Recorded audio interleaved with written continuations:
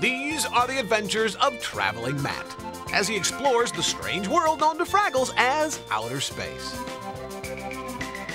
I recently discovered that silly creatures come into this world raw and spend most of their lives cooking themselves.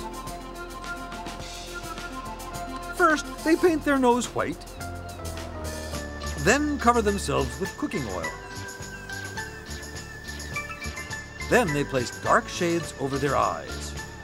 I know why they cover the eyes. They must be so embarrassed to be seen in public in their underwear. then they start to cook themselves.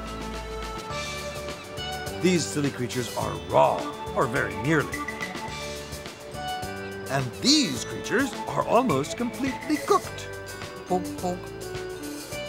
Ah. Whoa, whoa, yo, whoa! You never know what they'll do next.